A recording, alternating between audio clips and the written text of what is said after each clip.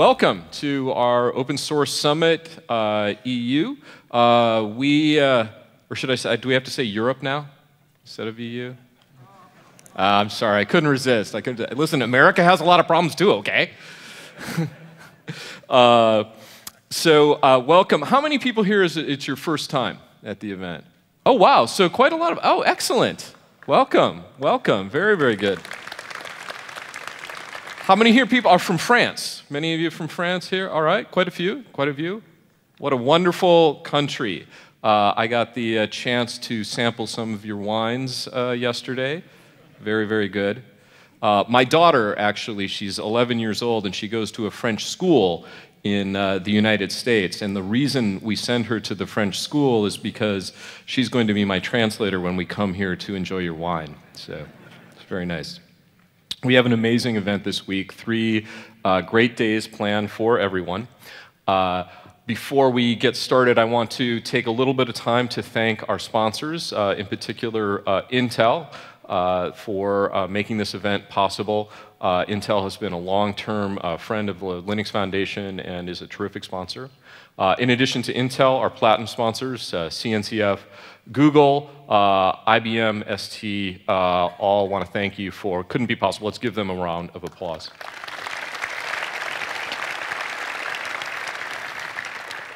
Uh, I also want to thank our program chairs uh, who did an amazing job putting together all the content. The hardest part about being a program chair is you have to turn down a lot of good talks. Uh, so what you're seeing uh, at this event is really the, the cream of the crop of, of an amazing set of talks. Uh, a few brief housekeeping notes before we get started. Uh, the sponsor showcase is at the forum level in Forum 4 and 5. So go check it out. We've got uh, great sponsors who are showing off all their uh, interesting tech and services today. Uh, there are also coffee breaks, which are located uh, there as well, and also plenty of meeting and hack space, so please take advantage of all of that. Uh, Wi-Fi is on the back of your conference schedule, so if you need the, the Wi-Fi, go ahead and check it out there. Uh, I also want to call out uh, that we have uh, a schedule on the go on sched.com. So if you want to get that, go ahead and download it, please. That would be great. Uh, in addition, I'd like to highlight our diversity and inclusion uh, initiative. Uh, so we have two uh, events tomorrow. There's a woman in open source lunch at 1255. Uh, we every uh, event we do, uh, we try and do something like this, and we get great feedback. So if uh, you uh, would like, please go check it out. You have to pre-register though. Uh, and then we have a speed mentoring event at 2:25 tomorrow as well in St. Clair 3. So go check all those things out. and then final reminder: we have a code of conduct. It's prominently displayed all over. please adhere. We want to make this a friendly and welcoming uh, space to everyone. And uh, we every year kind of look at how this event grows and grows and grows. And I think what's interesting is how much this event grows with the growth of uh, open source.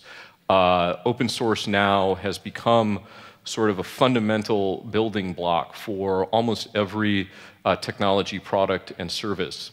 And uh, today I wanted to talk a little bit about uh, where the Linux Foundation, as a part of the open source movement, has been and where the Linux Foundation is going.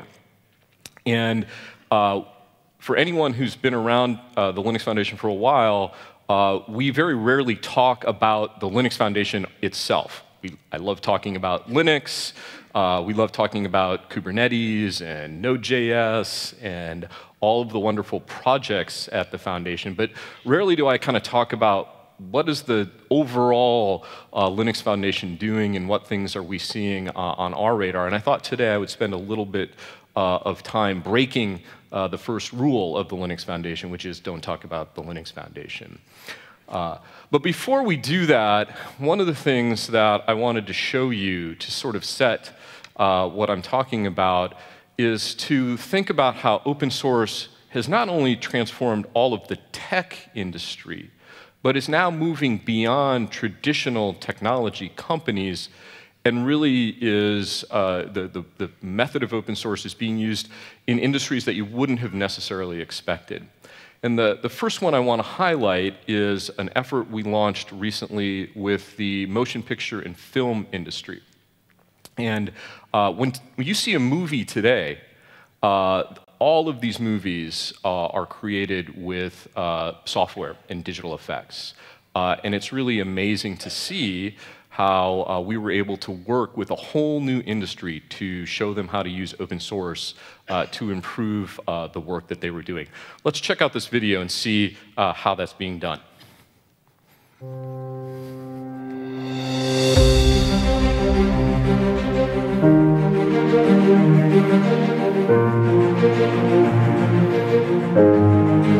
Every single part of the filmmaking process is touched by software and a lot of that software is open source software. The Academy Software Foundation exists to provide a great home for open source projects that we as an industry use every day.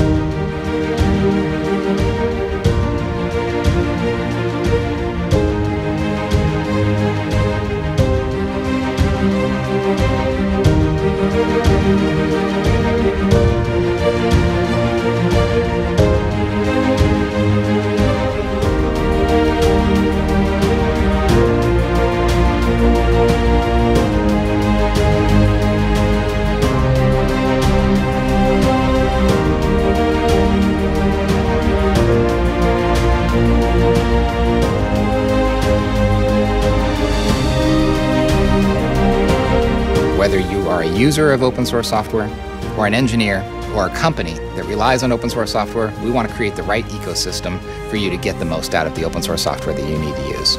Find us at aswf.io and join the mailing list and see how you can get involved.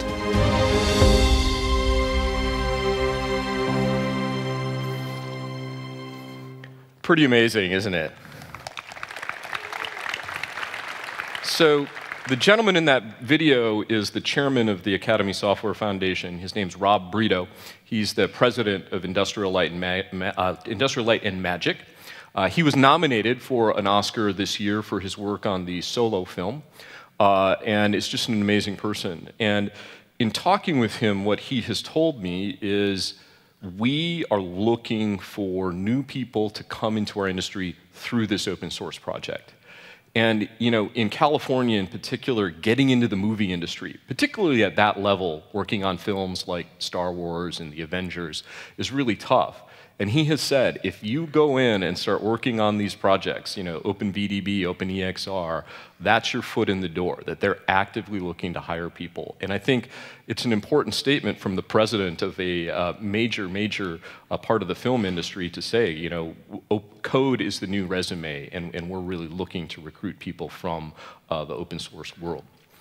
I also think what's fascinating about the Academy Software Foundation is that we're partnering with uh, the Oscars, uh, which is super cool. Uh, and, you know, name another open source project that has such a cool promotional video, right? Spider-Man, Star Wars, the Avengers. I mean, Linux, you know, all Linux has is uh, this penguin. You know, yeah, it's cute. Uh, Although I should be fair, uh, the Cloud Native Computing Foundation has uh, Phippy and Friends, so equally good. Uh, and our net, I, I, was sort of telling all of the different Linux Foundation projects, you know, be more like the Academy Software Foundation. They have these great promotional uh, videos and logos, and it's really compelling. And so our networking group also came up uh, with what they thought would be a good way to promote and explain their project. Here it is right there. They're really, those networking people, I tell you. Uh, but certainly open source has become the, one of the most successful enablers of, of global in innovation in the world. Just the raw amount of code and innovation that's coming out of all of these projects every year continues to go uh, up and to the left. Uh, now we're just seeing it center around these huge ecosystems, whether it's the JavaScript ecosystem, embedded systems, uh, operating system software, the film industry, cloud computing. Uh, it's just uh, the automotive sector. I was just at a meeting last week for our auto uh, project, automotive grade Linux. It's, it's really everywhere. And you know, the Linux Foundation has been a part of that, and I thought it would be interesting to look at where we've been and where we're headed, because uh, at the foundation, our communities uh, are really pushing us to take that open source innovative model, innovation model, and move it beyond just software itself. Uh, and I thought it would be interesting for all of you to see what the future looks like for a lot of new and up and, up and coming projects at the foundation. You know, we kind of all got our start uh, at the foundation with Linux, uh, providing a home for Linus Torvalds, uh, the legal and intellectual property support infrastructure around that, uh, events like this. Uh, and soon we started working uh, adjacent to Linux on open source projects, whether it's embedded systems with Yocto, which Yocto, I think, I don't know where Kate Stewart is, is now the majority share of kind of an embedded build tool uh, for uh, any kind of custom Linux distribution. Uh, Grade Linux was an important effort to get uh, open source software into the telecommunications industry early on. Uh, but very soon, beyond just uh, things related to Linux, the foundation uh, began working on software plumbing uh, up the stack or down the stack in the case of, of uh, networking uh, and uh, many other things that started transforming uh, the way that software is impacting the, the telecommunications and networking sector. And about three to four years ago, things started to really explode, where uh, we started working in the auto sector. Uh, our automotive grade Linux uh, initiative is in 20 million or more production vehicles uh, today from companies like Toyota and Daimler Chrysler and Hyundai and, and many others. The Cloud Native Computing Foundation, home to Kubernetes, has created the de facto uh, standard for how people create uh, deploy and manage their cloud computing infrastructure. Uh, the one Linux Foundation project you, you may not know of uh, is our Let's Encrypt project. Uh, how many people here know Let's Encrypt? So, all right, good. A lot of you. This is a good audience. Uh, it's the, the Linux Foundation and Let's Encrypt is the world's largest certificate authority. Uh, you know, what Let's Encrypt has really done is created so many more uh, websites that HTTPS is the default for, and that has improved the privacy and security of all of our uh, lives. But beyond software, uh, about two years ago, we started really working on the concept of both software development and open standards development. You know, it's funny, the, the, people in the open source community are often critical of standards bodies and so forth, but uh, both standards and software are actually critical for the adoption of much of the technology uh, that the industry and all of us require so that things work uh, properly together, whether that's through a de facto uh, standard uh, like Kubernetes or a, a, de jure standard, you know, where something like OCI uh, or GraphQL. these are really important. We've started working through efforts underneath the Linux Foundation umbrella, like the Joint Development Foundation, uh, GraphQL Foundation, uh, and OCI, to create standards in a rapid way that are compatible with the intellectual property frameworks uh, of open source. Uh, we think it's important that uh, if you're going to do standards development, that it be done in an open way and that it be compatible with the way that open source software gets developed. And so from Linux to a broad array of open source software projects to open standards. Uh, that's been the path we've been charting. But this year, we've started to also enter into a couple of new areas. Uh, the first new area is around open hardware. Uh, more and more, what we're seeing are open hardware initiatives that uh, can help people uh, work on either specifications or actual implementations around some of the physical assets that are needed things like Open Power, uh, RISC-V, and our CHIPS Alliance. These are open hardware designs. And the idea here is we think this open model can accelerate uh, innovation in uh, a whole new way around uh, a field that's primarily been uh, done in a proprietary fashion. Uh, if you're not familiar with these projects, these are ones that you should watch. Uh, you know, just the RISC-V Foundation alone has hundreds of members uh, and is one of the fastest growing projects uh, at the Linux Foundation today. But it's not just open hardware where we're seeing a lot of growth. Uh, another area where we're seeing a tremendous amount of growth is in open data.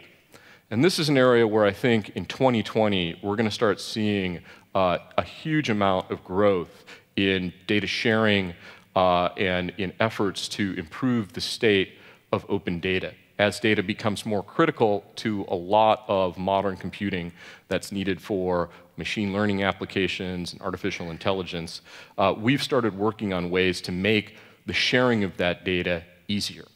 The first thing that we did was uh, worked on an open data license. So one of the things that we heard from everyone is, you know, even if I want to share my data, I have to go create an agreement with every single other counterparty that I need to share that data with. And our thought was, hey, what if we could take the concepts around software and open source software licensing and apply those similar concepts to a data sharing agreement that everyone could agree upon, standardize on, just like uh, people have agreed upon a set of open source software licenses. Uh, and so we created a uh, community data license agreement.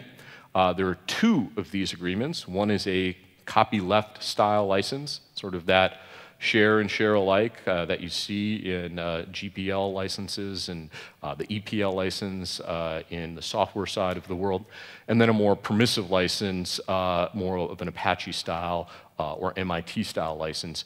So you can choose whether you want to require a shareback for that data or whether you don't require that. But both of these licenses are available on the Linux Foundation website and were created in conjunction with uh, I think over 50, where's our attorney, Mike? How many? 50 attorneys from the major Linux Foundation member companies who, you know, are the ones who are actually creating these data sharing agreements themselves and uh, you know, came to consensus on these particular models. So I think that's one that's really interested uh, in, uh, in checking out. Uh, we're also working on best practices around how to actually do uh, data sharing. So we have uh, a project called datapractices.org. It's another one that I think is worth checking out. Uh, to show how you can structure data, open it up, uh, you know, create APIs, you know, make those smooth in terms of the uh, IP agreements that govern them as well. Uh, and we've seen a huge amount of interest uh, in organizations who are taking advantage of those best practices around uh, both open data sharing and the practices themselves. We're also starting to see vertical industries participate in data sharing, which I think is incredibly interesting. This is largely being driven by both the energy sector and the telecommunications sector. So the Linux Foundation Energy Initiative, uh, which has a lot of uh, participants actually here in France, uh, are working to share uh, data that you know isn't necessarily proprietary data, but if everyone, every grid operator or every uh, energy provider shared this data, uh, they could use it to create a more efficient uh, energy grid management uh, system, and that would obviously improve uh, all of the output around climate change and things that are directly impacted by the energy sector. In the telecommunications industry, we're seeing this exact same thing play out where network operators globally are sharing big data sets uh, in order to improve cell phone tower maintenance, as an example, or uh, exchanging data uh, around certain telemetry in order to improve cybersecurity uh, for uh, their networks. So, open data and open hardware are the two things that, as you look at where the industry, where the communities are starting to head, these are these are two big areas that you should really keep your eye on. That doesn't mean that there's not going to be less uh, open source projects, uh, but these are areas where uh, we're really seeing a lot of excitement uh, and energy uh, around it. So, this is really where the foundation is heading from major open source software initiatives to uh, standardization initiatives in an open way. Uh, to uh, open hardware to open data. That's really been the path, and that's what you'll see in subsequent months that the uh, Linux Foundation supports. Uh, and today, to that end, uh, I would like to welcome some new uh, people and projects uh, at the uh, Foundation. we seem to be adding a new project at least once a week and many times several a week. so it's been a, a, crazy year at the Foundation. Uh, but today we have some special announcements, uh, and I'm excited to have some people uh, join me here.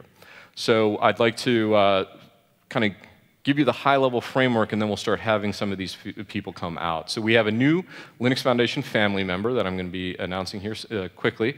Uh, some new legal initiatives that are, are, important to help make sure that all of you can have confidence in the open source software uh, that you're implementing. Uh, and then a new project to improve the Linux kernel. Uh, we've got Greg Kroah-Hartman here uh, from the Kernel Project uh, who will tell us about how they're doing that. So uh, the first person that I would like to introduce is a, the newest member of the Linux Foundation uh, family. Robin Ginn comes to us as the new executive director of the OpenJS Foundation. How many people know the OpenJS Foundation here? Not all of you? How many people here know Node.js? All right, we get a round of applause here. So Node.js, uh, the uh, J- oh, Node.js Foundation and the JS Foundation merged uh, earlier this year into the OpenJS Foundation. This is sort of uh, the center of a lot of uh, work in the JavaScript community. Uh, and we were lucky enough to get Robin to come from a more than 10 year run at Microsoft uh, where she led a lot of the early initiatives at Microsoft around open source software. Uh, she's agreed to come and become the new executive director of the OpenJS Foundation. We are delighted to have her. Uh, please welcome to the stage the executive director of the OpenJS Foundation, Robin Ginn.